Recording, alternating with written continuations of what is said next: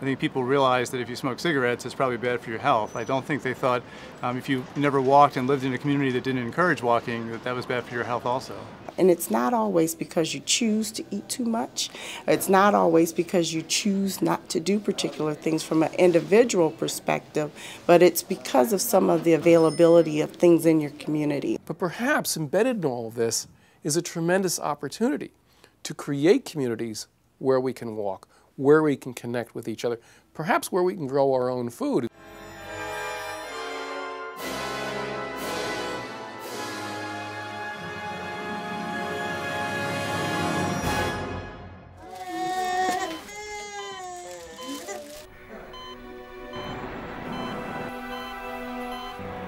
More and more, public health experts are coming to the frightening conclusion that the places where we live are killing us.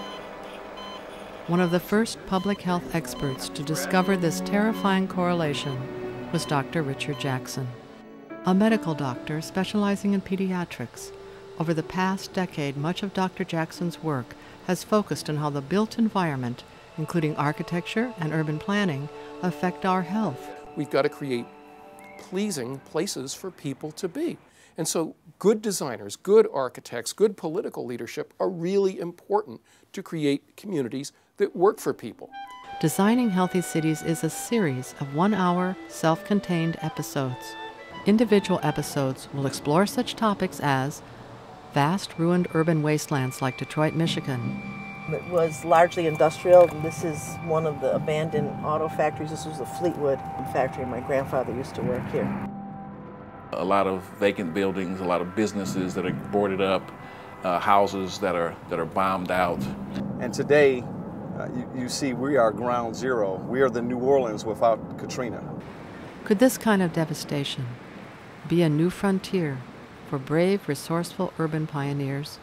The house I bought for $549 is really a chance for me to make art part of my life. When property loses economic value, it becomes open to all kinds of other possibilities and opportunities that property that has a high economic value can't sponsor. It allows all kinds of people to do all kinds of things that they can't do in a city that functions properly. It might look like a bad city, but one thing you cannot do is judge the book by its cover. Another episode questions whether traditional toxic environments, such as ports, have to be hazardous to the health of the people who live within these polluted zones. How many of you are taking medicine for asthma? All of you have asthma? Mm-hmm. We've got ships that burn this bunker fuel, which is a high sulfur fuel that generates very noxious diesel particulates. We've got diesel trains that come into the port and, and pick up the containers and ship them all around the state. We've got trucks that line up at the port that are burning diesel fuels and they're sitting much of the time keeping their engines running. The load of soot that is in the air in West Oakland is three times that of the county background level. And the disease rate is overwhelmingly concentrated in these areas in heart disease, asthma, cancer, and other forms of chronic lung disease.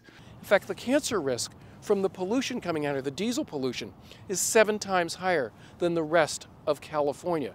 Asthma rates are 25% higher. Can new technology and compromise help transform commerce hubs like Oakland, California? Our goal is an emissions reduction of 85% by the year 2020. Issues of health and design are not limited to large urban areas. In mid and small town America, shifting economic opportunities and big box retail contribute to the death of many once vibrant historic downtowns and main streets. As a country, forgotten how great civilizations, communities, and neighborhoods work. So there's a reason why the butcher, the baker, and the candlestick maker live near each other. It makes sense.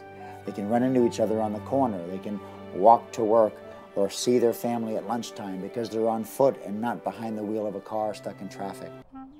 In our episode, Retrofitting Suburbia, Dr. Jackson explores in detail the effects of post World War II suburban sprawl and the vast suburban shopping malls that contributed to the death of many a downtown city. Today, rising transportation costs, changing demographics, and shifts in our economy contribute to the suburbs and gigantic malls themselves imploding. Can and should the suburbs and dead malls be repurposed into lively, sustainable communities? We need to be just as critical and creative in redeveloping and reimagining our, our suburbs as we have been with our cities. Another of the many topics Designing Healthy Cities will explore are transportation issues, such as designing communities around public transportation, making cities more walkable and bike friendly. From the moment I leave my house to the moment I arrive at my office, I don't have to hit one stop sign, one red light. I have a direct bike route that gets me to work faster than a car. Our last episode explores attempts in the past and present to create ideal communities in which health and design were or are perfectly balanced. Completed in 1960 as part of Detroit's controversial urban renewal program, the inspired collaboration of strong personalities that included the famed and infamous architect Ludwig Mies van der Rohe resulted in the 13-acre diverse income community of Lafayette Park. Growing up here as a child, you could just run anywhere and people had the eyes on the street. They, they could watch you wherever you were. Over 40 years later, Lafayette Park remains a brilliant green oasis of health and design in an otherwise broken city. In rural Illinois, the planned development of Prairie Crossing centers around an organic farm in which residents are encouraged to help out with the chores. We started with the farm because Vicki uh, said this would be a key to the community, it could be its heart. She was absolutely right. The small town of Roseto, Pennsylvania was the subject of an extensive medical study that linked the residents' good health with their strong ties to community. We've got to fix America so it works for our children. And if it works for our children, it's going to work for our elderly and it's going to work for everyone in between. Together with Dr. Jackson, we hope to make his vision a reality through our epic series, Designing Healthy Cities.